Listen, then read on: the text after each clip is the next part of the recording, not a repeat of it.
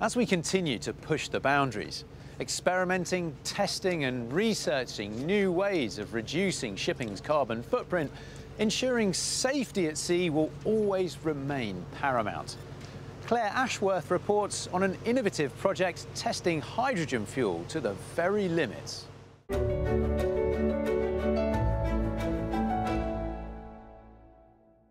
It is perhaps the most burning question of all for the engine of global trade how to fuel the shipping industry safely, efficiently, and with a low environmental impact.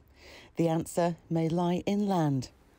Behind DNV Spadeadam's tranquil exterior lies a large scale research and development base that's already making waves throughout the maritime world as the industry moves towards adopting alternative fuels such as LNG, LPG, methanol, ammonia, and biofuels, as well as green hydrogen in a bid to decarbonise. In the UK's Cumbrian countryside, the Global Classification Society works to make sure that operations with new maritime fuels are safe. There's no doubt that the shipping industry needs to address its green credentials, not least in order to meet emissions targets. But that is something that DNV are more than happy to make some noise about.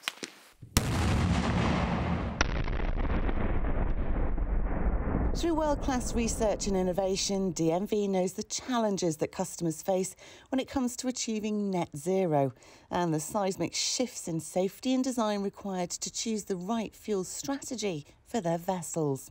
Just one reason why key industry stakeholders are already keen to collaborate and explore a range of fuel test scenarios and analysis with leading research specialists. Specialists like Dan Allison. Countdown starting now. Five, four, three, two, one, fire. We do the things that you, you don't want to happen on your actual facility. So uh, the explosions and the demonstrations that we do on, on, on the site uh, are centered around uh, making sure that they don't happen uh, in, in reality, if you like, away from uh, centers such as this where they can be conducted in a controlled manner.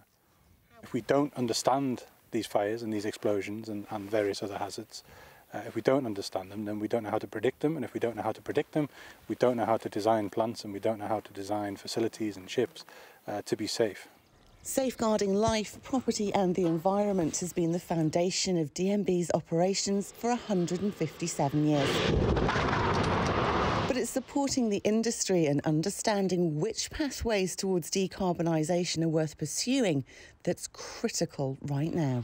More research needs to be done and to have a center like Spadeadam where we are able to do that research and transfer that research into the areas for instance, classification or directly to our customers, to the ship owners, to support the entire shipping industry, it, it is fantastic. We are in a very good position to help this transition. Some of the most promising research projects happen through collaboration, which makes DNV's hydrogen work with 25 companies and industry associations so significant. As one of the world's leading energy companies, Shell was keen to be part of the research. The work that's going on at DNV Spadeadam is so, so important um, to help us to understand, in particular, hydrogen's behavior.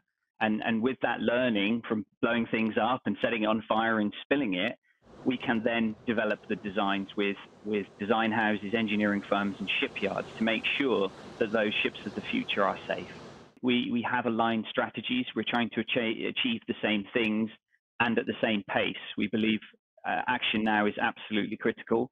But in addition, DNV's depth, technical capability is second to none, you know, and, and that's been the combined expertise of Shell and DNV allows us to really make progress quickly adapting to change, to exploring safe shipping alternatives efficiently and stepping into a cleaner future are not easy conversations to have.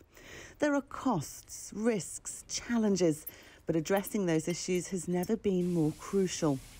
These are areas where research and risk management offers confidence in attaining energy standards across the shipping industry for others to follow it's never fun to go first. Um, and and knowing that there's the kind of the potential financial implications of getting it wrong, that's a scary place to be. So, but we understand that, and I think that's where together we can, you know, work together and, and su- kind of collaborate and support each other to, to find the right solutions for the right locations and the right ship types.